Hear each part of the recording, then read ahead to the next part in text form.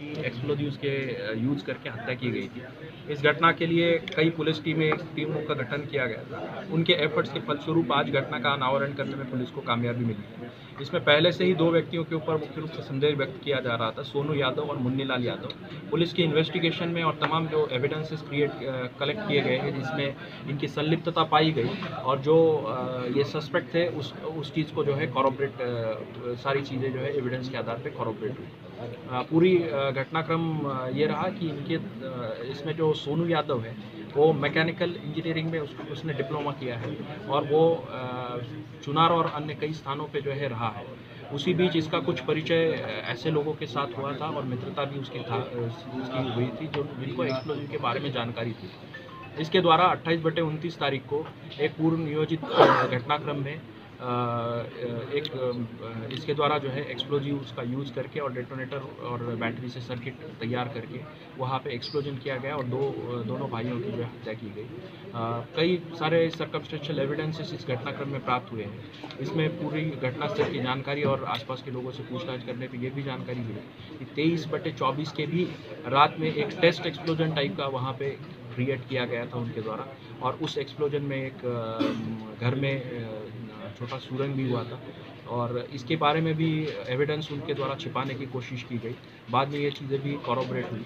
पूरे घटना की जाँच करने के लिए एफएसएल आर्मी एक्सप्लोजिव के एक्सपर्ट्स की कई टीमें लगी हुई थी, जिनके द्वारा सैंपल कलेक्ट किए गए हैं।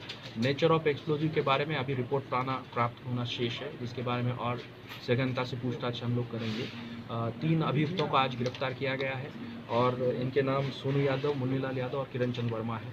इनके कब्जे से कुछ वायर्स बैटरी और मोबाइल और जो घटना स्थल पे छूटी हुई साइकिल बरामद हुई है।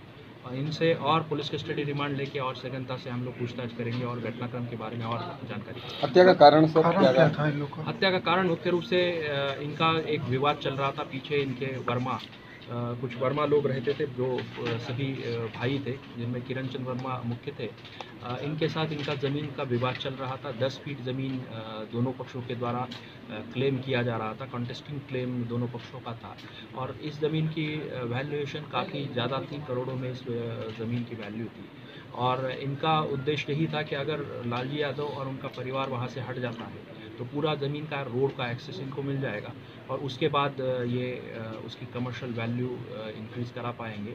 और इसी उद्देश्य से इनके द्वारा ये घटना की इनका क्या, केमिकल कहाँ से लाते थे कुछ पता चल पाया? ये इसके बारे में हम लोग पूछताछ कर रहे हैं। इसके जो कॉन्टैक्ट्स है जो कुछ जो डिस्ट्रिक्ट्स में है आसपास के बगल के डिस्ट्रिक्ट्स में है उसके माध्यम से इसने अभी तक जो जाँच की है उसमें एक्सप्लोजिव प्राप्त किया जाना पाया जा रहा है। अभी पर और इसमें जाँच की जा रही है, विवेचना की जा रही है तो इस वजह से हम लोग सारी चीज़ें इस समय पर डिस्क्लोज नहीं कर सकते।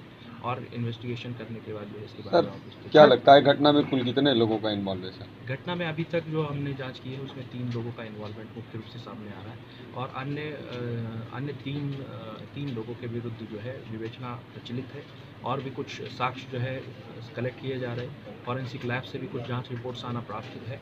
उसके बाद इन्वेस्टिगेशन की पूरे लिंक्स जो है हम लोग क्लियर करेंगे